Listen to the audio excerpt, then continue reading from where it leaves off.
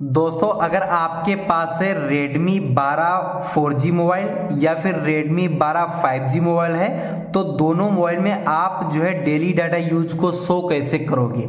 यानी आपने जितना पूरे दिन में नेट खर्चा किया है, ये कैसे आप चेक करोगे इस मोबाइल में? चलिए फ्रेंड्स मैं आपको बता देता हूँ। अगर इस मोबाइल के आप सेटिंग में जाओगे तो कहीं भी आपको इस मोबाइल में inbuilt feature daily data use का नहीं दिया गया है। तो इसके लिए आपको एक छोटी सी अप्लीकेशन डाउनलोड करना पड़ेगा।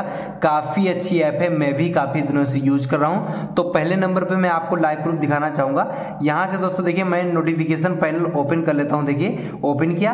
आज मैंने जो है वाईफाई से पैंतीस एमबी यूज़ कर लिया है। और मोबाइल से जितनी आप यूज़ करोगे, यहाँ पे दिखाई देगा, और इसके साथ साथ रियल टाइम नेटवर्क स्पीड भी शो होती है। तो ये सेटिंग इनेबल करने के लिए आपको जो है प्ले स्टोर ओपन करना होगा। प्ले स्टोर दोस्तों, आप ओपन कर लीजिए, ठीक है?